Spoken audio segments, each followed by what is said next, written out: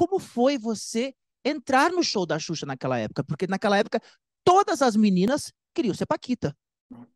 É, vou tentar, eu vou tentar resumir aqui um pouco, porque a história é grande. A Xuxa fazia. É, é, como é que eu vou falar? Quando ela fazia escolha de Paquitas, tinha um nome para isso. Ela fazia uma seleção para as Paquitas. Isso, isso. E aí, naquela época, não existia internet como hoje. É bom lembrar para as pessoas que não acompanharam.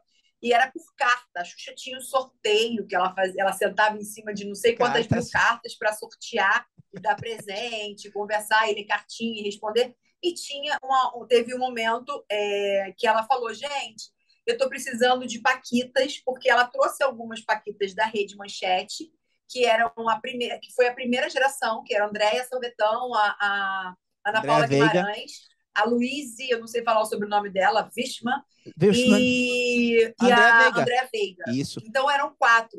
Só que essas quatro, elas estavam ficando maiores de idade, estavam chegando aos 18. E a Marlene queria que criança trabalhasse para criança.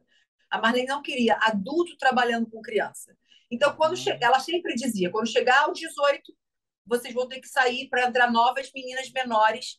Pra... Tanto que quando eu entrei, eu tinha 10 anos. E aí ela falou que queria Paquitas de 9 a 12 anos. Olha como é que era bem novinha. E você entrou em 87, né? Sabe que eu não, não, não sei se é, foi. Eu, não, foi 87, eu, eu lembro. Eu, sou, eu, eu, nasci em 77, eu entrei com 10, foi 87. Foi 87, é. Uhum. E aí, é, a minha irmã, assistindo o programa, falou: Cara, a Paula vai pirar, ela é louca pela Xuxa e tal, vou escrever para ela. E eu me lembro, sabe, Jael, que isso foi muito perto, foi logo depois do meu aniversário. E no meu aniversário, que é dia 1 de fevereiro, a minha irmã me perguntou o que eu queria de aniversário. E eu falei que eu queria me vestir inteiro com a roupa da Xuxa, da loja da Xuxa. E eu me lembro que era longe, eu morava no subúrbio, eu morava em Vista Alegre, e era Tijuca para Vista Alegre, era tipo duas horas. E aí eu tive que pegar três ônibus, chegar lá e a minha irmã me levou e me deu a roupa completa, a, saia de couro, suspensório, blusinha social igual a sua, com uma borboleta, uma gravata de borboleta, a bota de couro com laço. Lembra que a bota da Xuxa tinha uma um laço de aquelas bandanas que ela usava. E eu queria uma bota, aí... não podia porque eu era menino, menina. Não podia, podia pro pai dar a bota, meu pai não dava, porque eu era menino, não podia usar bota. E aí eu pedi para fazer uma festa como se fosse o show da Xuxa. Então, como assim, no subúrbio, né, a gente não tem esse recurso todo, a gente, o que, que eu fiz?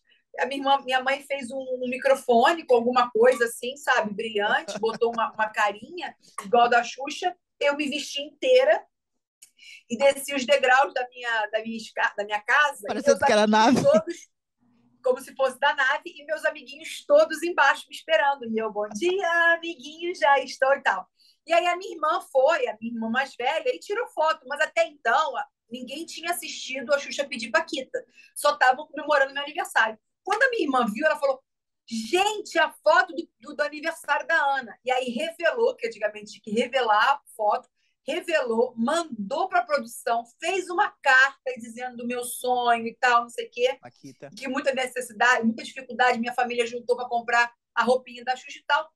E quando eu falo, Israel, assim, que a minha vida é movida por Deus e pela minha fé, porque tinha duas mil cartas lá e a Marlene Matos pegou a minha carta. Quantas cartas a minha irmã mandou? Uma. Uma carta só. Uma única carta. Meu Deus. E a Marlene Matos, que pegou minha carta. Existia na produção mais de sete pessoas selecionando Paquita. E a Marlene disse para mim depois que ela passou e falou assim: Ah, quer saber? Vou escolher umas também.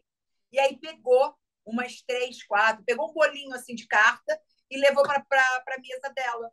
E daquele bolinho ela falou que escolheu só a minha, pela história. Porque se nós colocarmos algumas fotos aqui, a edição vai colocar, você era parecida com a Xuxa de tanto que eu amava.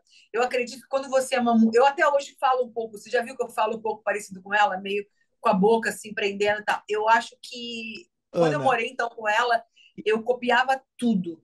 Hoje a, a neurolinguística fala sobre modelar, né? Você uhum. modelar quem você quer, mas naquela época era copiar. Era a Xuxa, gente. Amava.